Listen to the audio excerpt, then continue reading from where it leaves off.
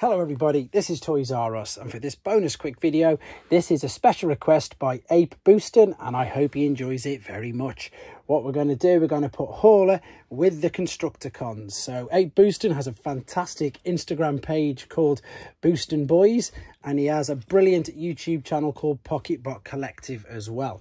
So here are the Constructicons with Hauler as it goes in the G1 stories that they used to be together in on Cybertron rather. So we can see, I'll turn them all around, see how they look.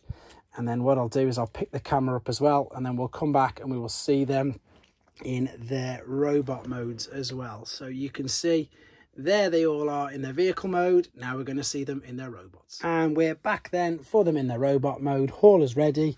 And here come the rest of the Constructicons. Fingers crossed these guys should all fit right next to him without having to adjust too much.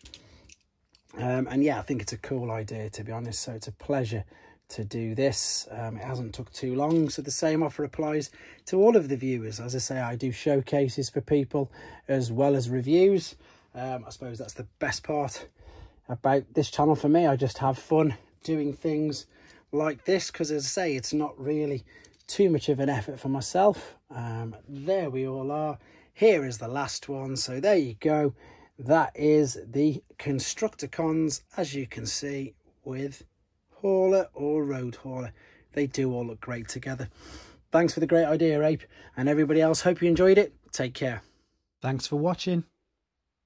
Like and comment. And don't forget to subscribe.